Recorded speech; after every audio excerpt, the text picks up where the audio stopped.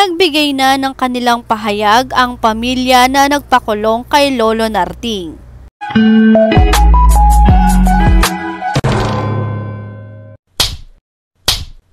Nagbigay na nga ng kanilang pahayag ang pamilya na nagdemanda kay Lolo Narting Floro at ipinaliwanag ang kanilang panig kung saan paumanhin lamang daw ang kanilang hiling. Sa isang eksklusibong panayam nga ng News 5, sinabi ni Robbie Season anak ng complainant na sila ang nagtanim sa nasabing mangga. Ayon pa sa pamilya Season, paumanhin lang daw mula kay Lolo Norting ang hinihintay nila. Balak naman daw talaga nilang iurong ang kaso.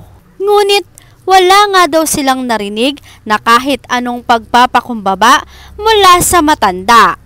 Anila, sino naman po kami para hindi maawa kay tatay?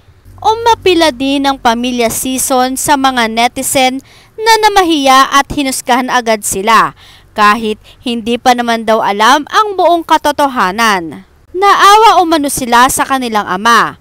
Mabuting tao daw ito at truck driver.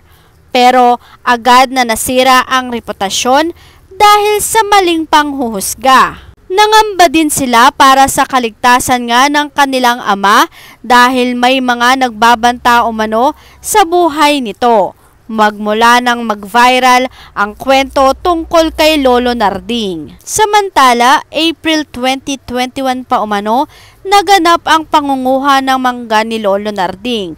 Ngunit hindi sila nagkasundo sa barangay at umabot na nga sa korte ang reklamo ng pamilya Sison.